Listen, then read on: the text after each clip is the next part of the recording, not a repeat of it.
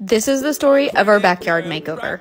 I got these awesome backyard plans from Yardzen, and we decided to DIY the whole thing. The first thing I did was to take a weed eater and outline where our new gravel patio would be.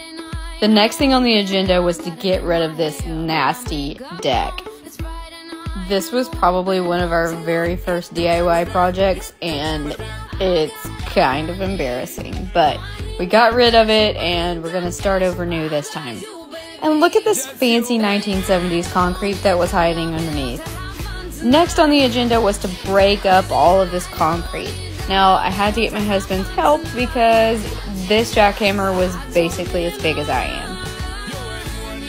After breaking up all the concrete, we actually hired someone to come in and to remove all of the debris and to just kind of level off everything.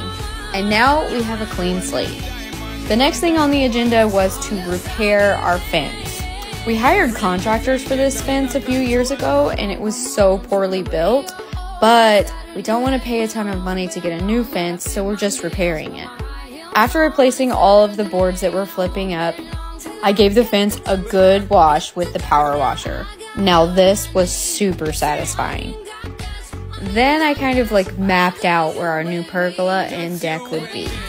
I decided to go ahead and stain the fence. I used a solid black stain. I know it seems crazy, but I promise you it's gonna look so good in the end.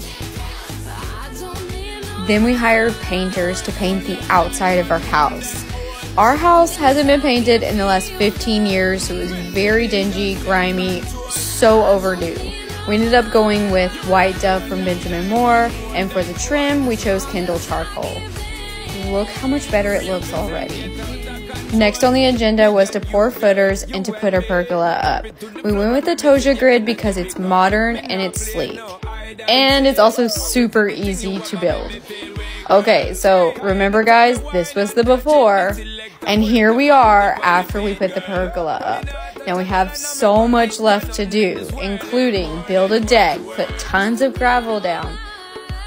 So be sure to check out part two, or if you can't wait, go check it out on Instagram.